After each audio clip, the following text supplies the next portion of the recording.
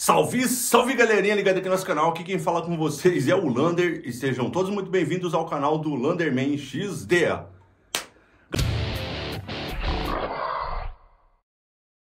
Galera, hoje eu vou trazer para vocês um assunto bem polêmico, que é o desbloqueio do PlayStation 4, que já tá rolando aí há um certo tempo. Hoje eu vou falar para vocês se vale a pena, para qual tipo de usuário que vai servir o desbloqueio aí dos consoles da Sony e tudo e muito mais nesse vídeo. É um vídeo bem informativo que vale a pena vocês assistirem, tá bom? Antes eu peço sua colaboração, deixa teu like, se inscreve aqui no canal, ativa o sininho, porque aqui eu trago jogos e consoles em geral e também tecnologia. Então não fica aqui de fora dessa comunidade, não custa nada, vai aí embaixo, deixa sua inscrição e começa a acompanhar o canal, porque tem vídeos novos toda semana.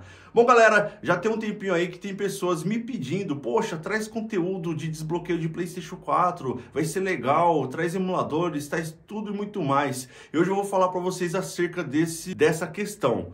Vamos lá, amigos. Primeiro, que o desbloqueio do PlayStation 4 aí, você pode estar tá fazendo com PS4 Fat, Slim e o PS4 Pro. Para quem que vai servir o desbloqueio do PS4? Para as pessoas que justamente gostam de jogar só campanha dos jogos, não gostam de jogar online. Então, esse tipo de desbloqueio vai servir essas pessoas. Com isso, vai vir toda aquela bagagem que você vai poder estar tá instalando emuladores, programas e tudo e muito mais aí que na maioria dos consoles desbloqueado dá para fazer.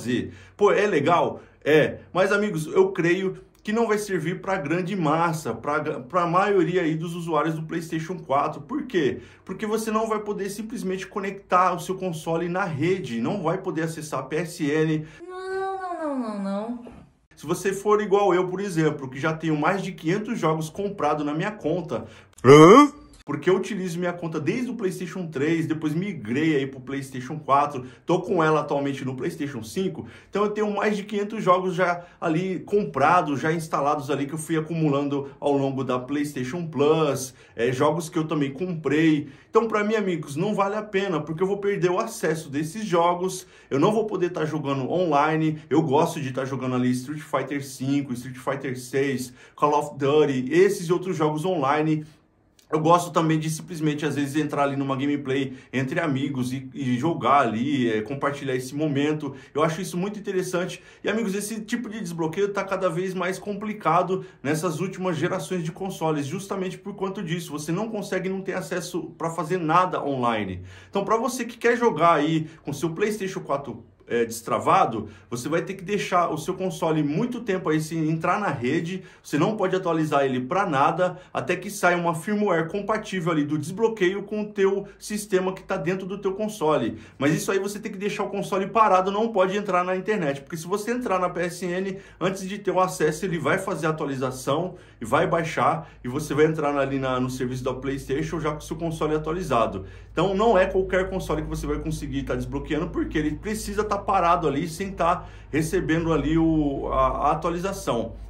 Recentemente tem um colega meu que fez aí o desbloqueio do PS4 dele, o dele é a versão Slim, e ele conseguiu fazer porque o dele estava parado há muito tempo. Quando ele ligou, a firmware dele estava bem antiga, bem ultrapassada, aí ele resolveu estar tá fazendo ali a instalação do desbloqueio. E aí eu vou trazer para vocês uma solução também interessante que também não é viável para todos, tá? Só para as pessoas assim que colecionam talvez. É, se você tiver, por exemplo, o PlayStation 5 e o PlayStation 4, que é meu caso, você consegue estar tá fazendo o desbloqueio do seu PS4, porque você quase não vai estar tá usando ele mais. Você está usando ali o PlayStation 5, que também tem PS4 dentro dele. Então, o seu PS4 vai estar tá ali jogado para as traças. Então, vale a pena você estar tá desbloqueando, porque além de você estar tá experimentando esse outro lado ali do, do PlayStation 4, onde você vai poder estar tá instalando qualquer jogo que você quiser para estar jogando somente a campanha, é, você vai poder estar tá colocando ali homebrews, emuladores e tudo muito mais. Então, se você tiver dois PS4, eu até recomendo você desbloquear um deles, porque no outro você vai deixar ali guardado, reservado, só para estar tá jogando online. Agora, amigos, se você é um usuário que não liga para estar tá jogando online, se você só quer fazer a campanha do jogo zerar e, e instalar outro jogo e jogar, talvez o desbloqueio vai servir para você aí um prato cheio, tá? Mas acredito que vai ser a grande minoria que vai querer essas circunstâncias, né? De não poder estar tá acessando a sua conta, de perder todos os benefícios que já lutou aí para trás, né? Os jogos baixados, tudo e muito mais. Então, galera, é isso que eu tenho para falar para vocês.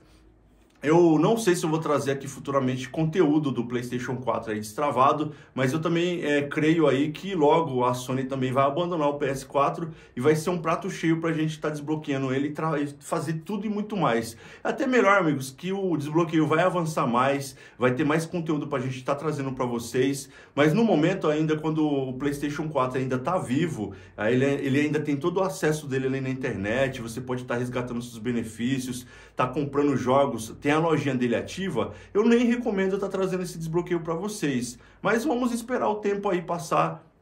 Logo mais aí o PlayStation 5 já vai estar tá ultrapassado, vai vir um PlayStation 6 e a, gente pode ter a certeza que a Sony vai descontinuar o PlayStation 4, como fez, todas as empresas fazem isso, né? Atualmente a Microsoft largou o Xbox 360 de lado, não tem mais nem live, não dá para você entrar mais na loja, tá? Foi cancelado, não tem acesso mais nenhum. Dificilmente você vai conseguir jogar algum jogo online e vai chegar a época que vai acontecer isso também com o PlayStation 4. Então aí vai ser a época de você meter o desbloqueio, desfrutar aí de tudo que tem de homebrews, tem programas ali que deixa, que criam servidores ali não oficiais que dá para você jogar até online e aí é onde a gente vai trazer esse tipo de conteúdo para vocês, tá? Então ficou aí essa ideia sobre o desbloqueio. Eu acredito que vai servir somente para pequena minoria que não tem nada para tá perdendo, né? Ou para aquela galera que simplesmente é curiosa, tem dois consoles aí e um deles vai manter desbloqueado para estar tá trazendo conteúdo ou tá fazendo experiências novas ali com o console. Mas para você que só tem seu PS4, que gosta de jogar online, amigos, não é viável e com certeza você vai perder todos os jogos que tem na tua conta da PSN.